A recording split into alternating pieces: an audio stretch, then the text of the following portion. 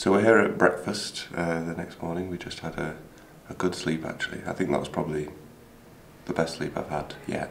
But also, like, it was really nice um, night event with all the guests and dinner, Mm, yeah, yeah. dancing, all of that. But we're here greeted with our breakfast feast as always. Um, so this is like a pot of Georgian yogurt called matsoni, I think. Mm-hmm. At least that's what Google said. I think that's what she said.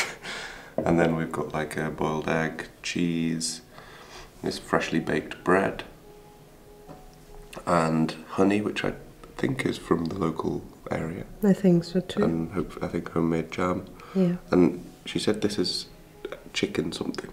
Okay. Something, something to do with chicken, I don't know. And But the yeah, winner here is also the butter. yes, the butter is amazing here. I don't know what they do. I guess it's just freshly made, but it's really good.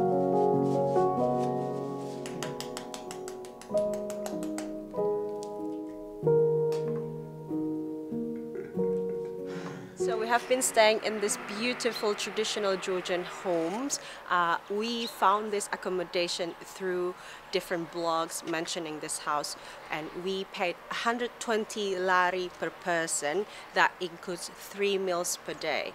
So if you are traveling alone, you will be paying around 150 lari, uh, depending on the season, but that's about the price.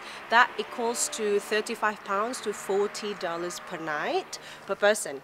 Um, and the food has been incredible. I think we've gained weight from here, staying here. Now let's get into inside and see how the Georgians usually make wine because traditionally they have this barrel that is set underneath the, the ground. So interesting, and I actually have never seen that. As you can see, there are lots of holes over here. These are underground winemaking barrels. This is how traditionally Georgian make their wine. And if you can see, I do have an interesting stuff. I was told that this is how they would clean the barrel. However, the guest house is no longer using this because it is a pain to clean this up and they move to something a bit more efficient.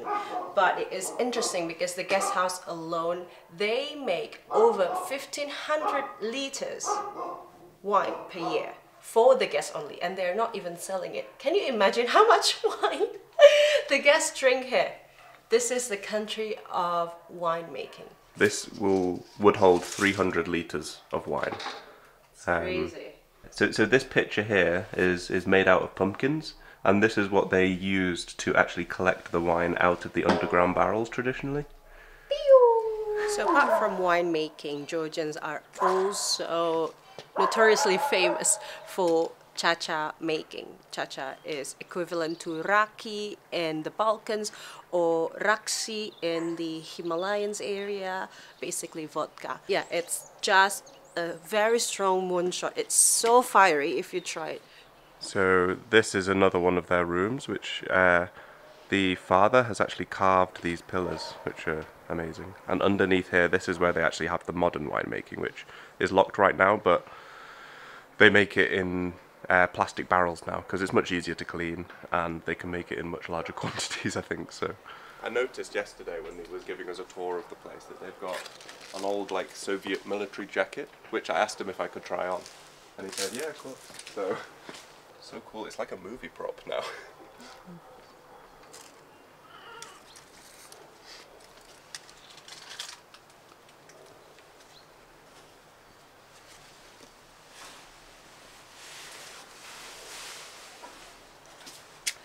Do I look cool? Yeah, you look like um, feel like I'm Soviet getting ready elite. to star in like a It's a grand. I, I do like the design. It sort of reminds me, like the coat people wear in London. Mm. It's so like you can see why they wore these. That it's so warm. Yeah, for the winter. obviously. You can see the uh, communism symbol here. And I don't know, maybe if people know more about military, they'll know what, I don't know what rank that is, it's like one stripe. This is the most expensive meat in Georgia. So this is a smokehouse. This is like specialty meat. This is expensive. Um, and I think they, he said this this one was dried over a year ago, but because of the smoke and and obviously the cold, it just preserves uh, like dried meat. And this is this was very popular for taking to like war as like war rations because it makes you full very quickly and it doesn't go bad. So yeah.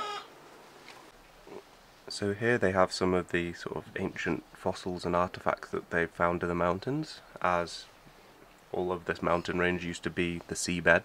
This is a fossil of a turtle that was found here in the local mountains.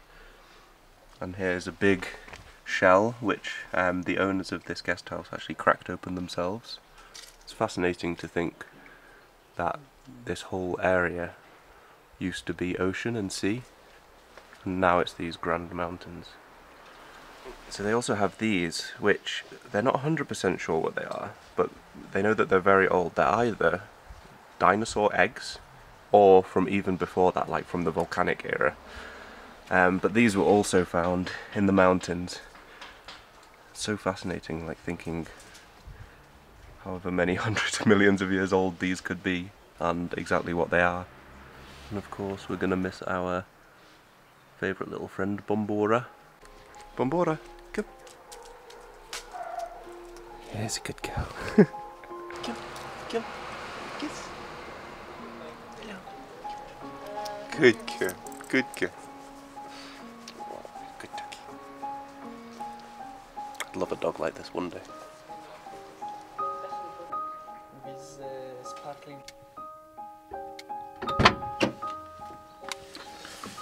Are you ready for today? I think so. We've just had a, a bit of a talk through of where we're going to go from uh, the guy at the guest house. Nika. So, Nika. Um, so we're going to go up, hopefully quite high, but because the sun sets quite early in the winter, we're going to have to be quite quick. but we're going up to Stalin House, followed by some mountains. So, let's go.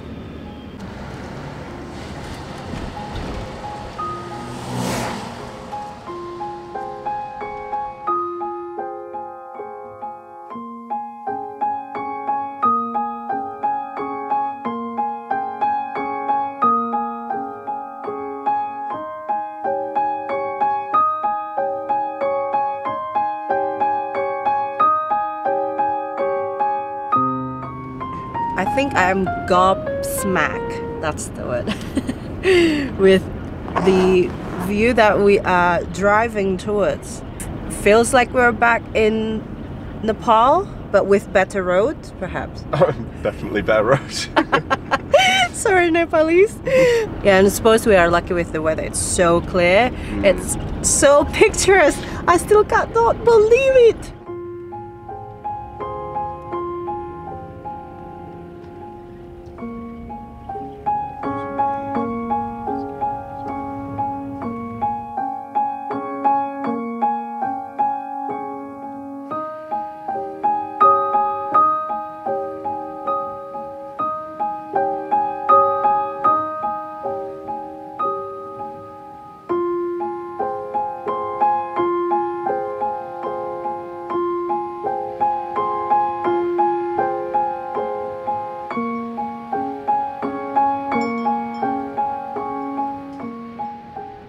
Thing is, there's actually almost no car traffic.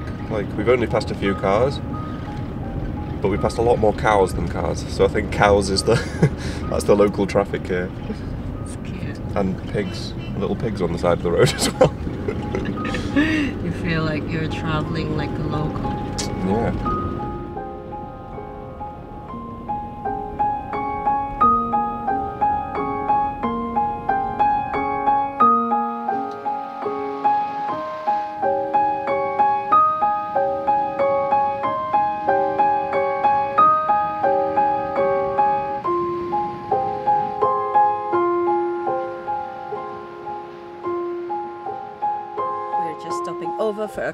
Break, but we have been very pleasantly surprised by the Caucasus Mountains, obviously. We have been also very lucky with the clear weather, so it's just constant stunning views, isn't it? Yeah, mm. and almost no cars on the road. Yeah, so- so. Good job, Georgia. Thank you. Feels so, we didn't know what to expect, honestly.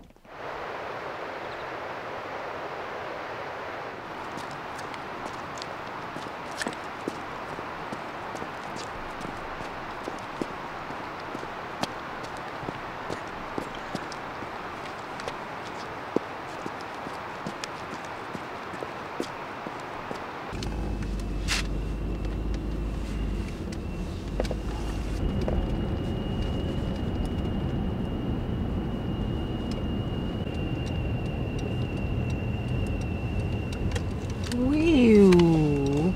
Wow, it's not as tight as the other bridge we were on.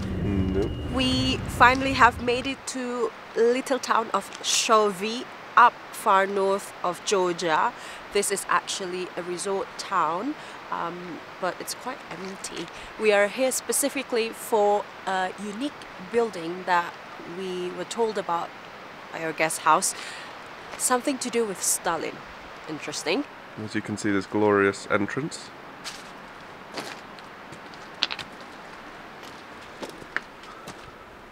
And this is where you uh, buy the ticket to get in. oh, finally the tour guides arrived. Apparently, this is Stalin's dog.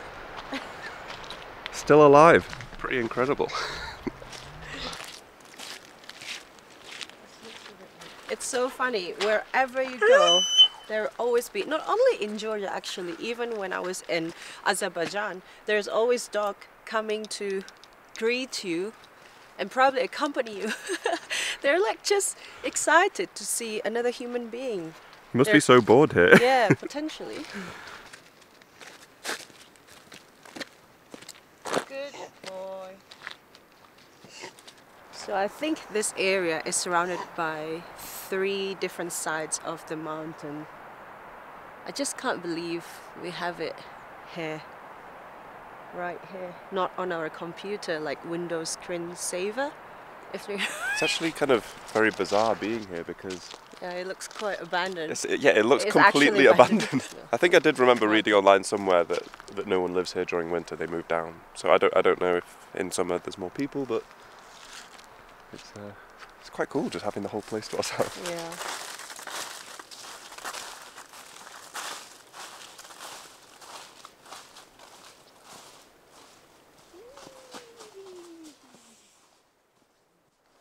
I was reading online, trying to find information right about this because there's not much information available online, but several website or articles mentioning that because of the famous region, famous region, the region's famous carbonated water, mineral water, spring water, as well as the wine.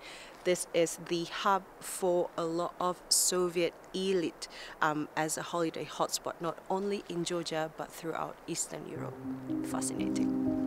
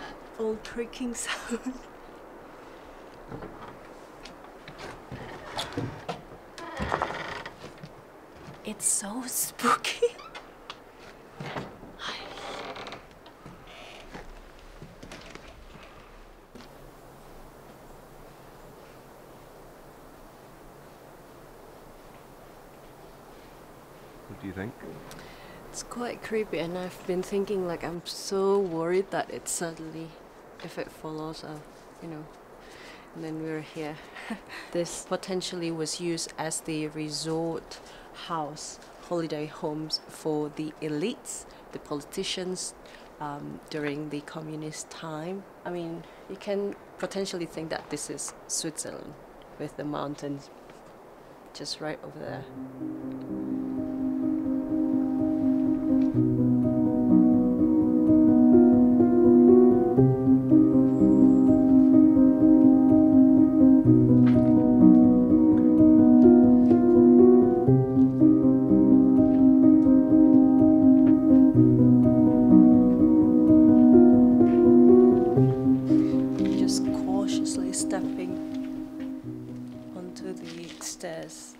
One by one.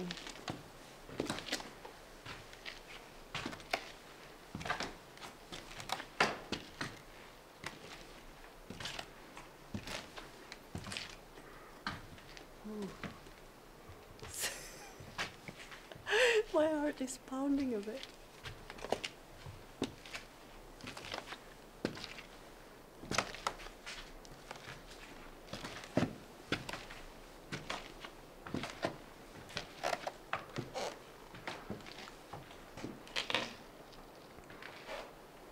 Yeah, wow, crazy. I don't know what to say really. It does feel a little bit like the floor could collapse at any point, but I think it's. I'm pretty sure it's safe. But it's it's just crazy to think who would have been in here, like having a holiday, drinking, plotting. I, I don't even know what on earth would have. Plotting the world. The fact that this used to just be full of these elite people potentially, mm. and now it's just ruined, and we're walking around it, however many years later. This is the first time both of us visit this kind of stuff. Abandoned building. Yeah, it feels a bit edgy. Edgy Mm. traveler. Very cool. What are you going to do? Well, I'm gonna try cross this. I think it's uh, all right. It doesn't look very promising. No. I think it should be fine. I think your grandma and mom will be so worried watching this.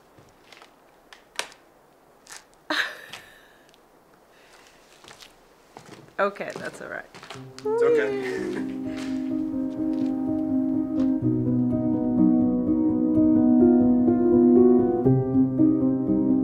Away in the Caucasus Mountains, only a few kilometers from the Russian border, many believe that this now abandoned holiday resort was used as a holiday gateway by many Soviet elites.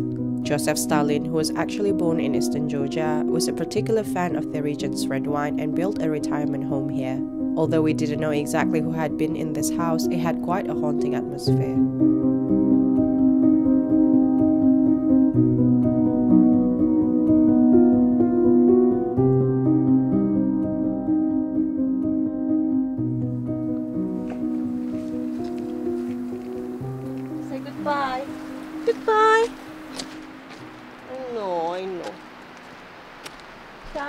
His only friends.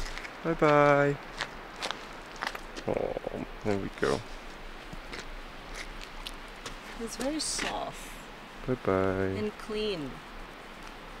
So what are we doing now?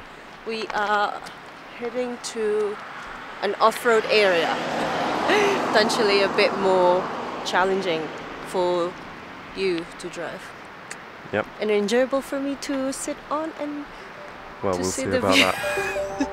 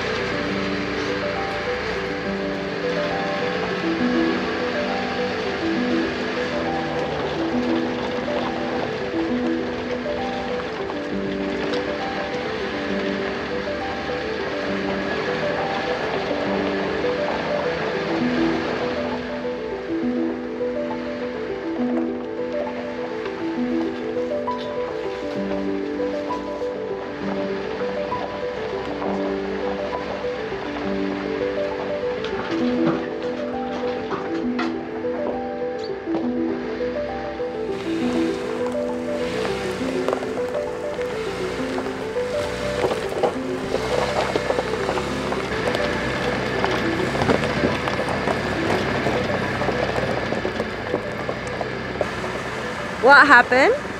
I mean, there was only like a tiny dip in the road, but of course I have no idea how to drive 4x4. So it was my first mini challenge, but now we've got, I think it gets worse up here, so I'm excited. I'm looking forward to it.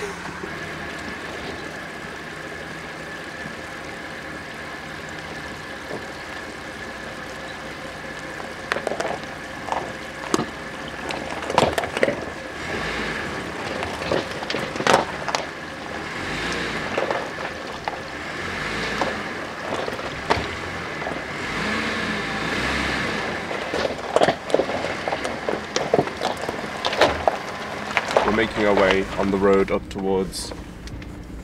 It's called Chiora Peak. You can actually drive all the way to the top of the peak, but we probably won't have time today. So we're just driving up as far as we can.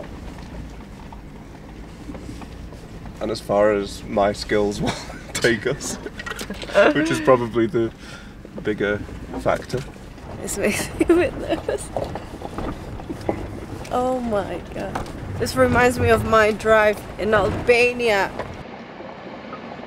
I'm having fun. Yeah. I think I it's think this is why people like driving off road, honestly. Yeah, once you get kind of comfortable just with the unevenness of the terrain, and I, I guess you have to know the width of the vehicle quite well to know where your tyres are. Um, but once you sort of get the gist, it's not too bad. I mean, the roads also like they've been off road, but they haven't been terrible yet. I'm sure they get a lot worse than this later on. So we'll just see how far we get.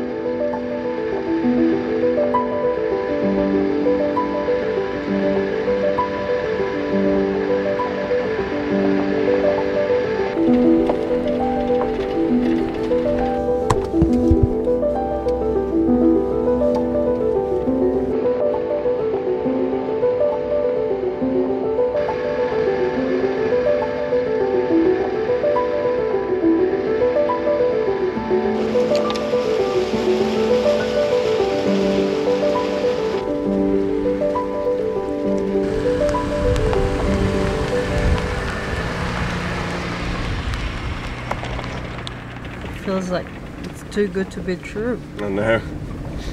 It's also nice. I think. I bet if we came like three weeks ago, the leaves would still be on the trees, but still actually, still really nice because there's all the orange and the brown, and some of the trees still have colour on them from autumn. I think this is actually a really nice time to come. Mm, dry as well.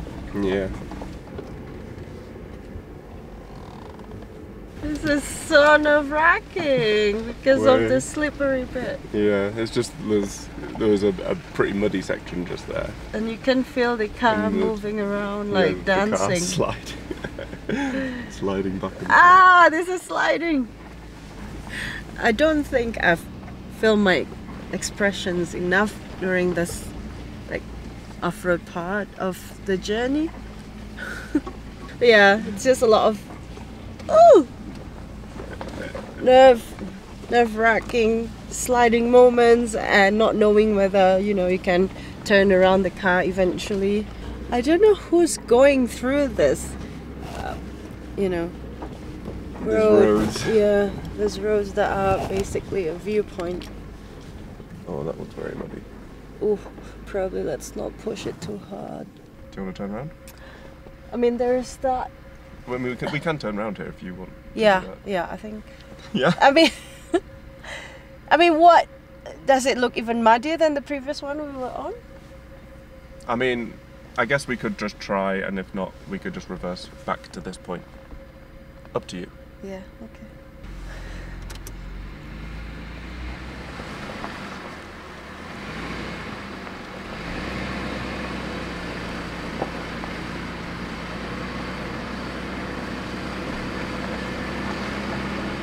There's even the snow. There's snow there. Yeah. Wow. Ah! Can you see all of this?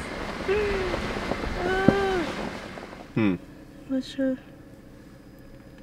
How do I go up this bit?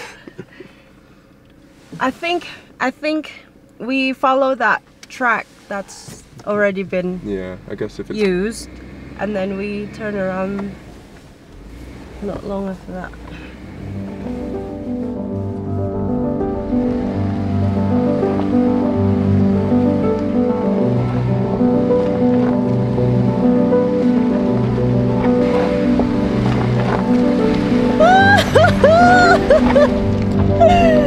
okay, look at this view that we, it's crazy.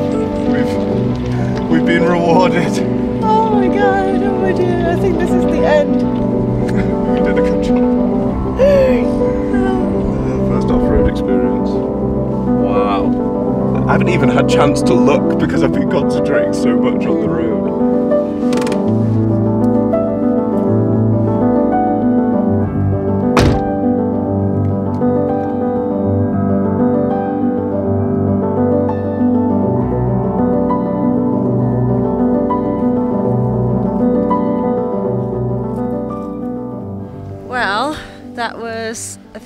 Journey, wasn't it? Yes. I don't know how to even explain that. That's fantastic. Yeah, definitely worth it for the views. That's pretty much about it. A video from Racha region. It's a fantastic region. If you've never been to Georgia, like Mm. Definitely I think, recommend it. Yeah, Yeah. it's it- it's so beautiful, and we rarely see tourists. I don't know if it's because of winter as well. Mm, maybe.